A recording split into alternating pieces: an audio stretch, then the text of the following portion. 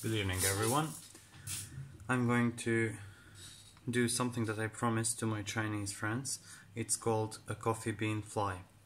Uh, it's a well-known fly in my country, Serbia, and it's used for chub mainly. But it's very good for trout because, as we know, sometimes trout will eat terrestrials, and that sometimes it's more than some rare occasion. It's pretty often actually. So uh, all we need is a hook thread, a real coffee bean. That's why we call this fly coffee bean fly.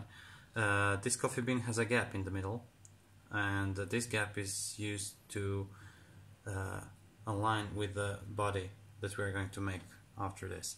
So the main feature of this fly is uh, plop, or the sound that it makes. Uh, chub is known to like sound. Uh, well, it likes bugs, and bugs when they fall in the water, they make a make, make a sound. At least those terrestrials that are big, round, fat. So they when they fall, they fall with a sound. So this is something that uh, this fly can imitate really good. Uh, I'll just make a foundation for our body uh, for this gap that I showed you. So for this one here. Uh, now uh, I will put some super glue. This one is in gel. Uh, it's very easy to, to handle this gel super glue because it, it doesn't run away as a liquid one. It can just float everywhere and this one is very handy and nice. So I will sp spread it around.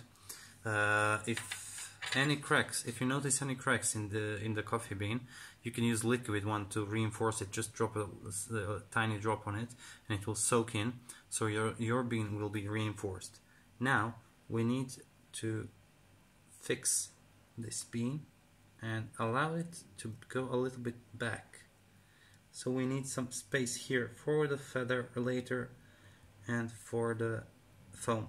So I'll press it firmly for a few seconds until this glue sticks on it.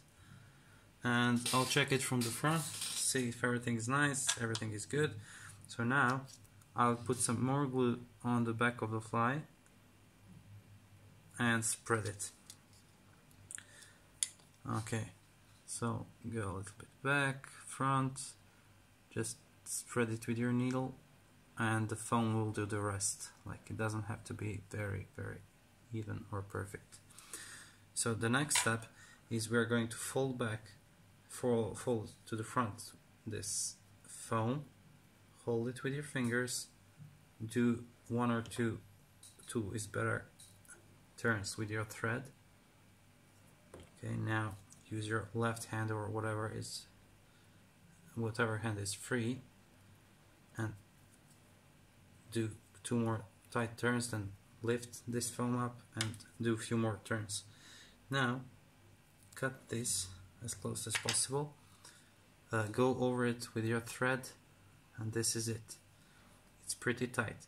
Now, I will not use the regular. I will not use the re regular feather for this. I will use partridge because it's nice and it will uh, move in water, which I really like. It gives life to our fly. Okay. Now, pliers, hackle pliers, do a couple of turns. Later, as always, I like to reinforce my fly, so this one is not an exception. So now I'll just take a few reps to secure this feather. Okay, now I'll go one or two in front, and that's it. Almost finished. Just snip off the, the excess. Spin the thread a little bit because this is the flat one. Uh, if you use the round one it's okay just spin it. Go back with your fibers. And now we have to whip finish this.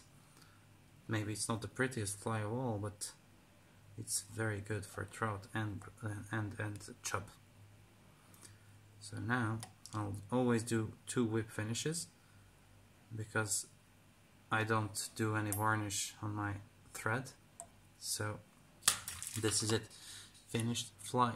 Use your scissors, sniff off the thread, and that's it. Uh, when you cast it, let it plop on the surface, make that sound, catch your fish, and enjoy your fly fishing.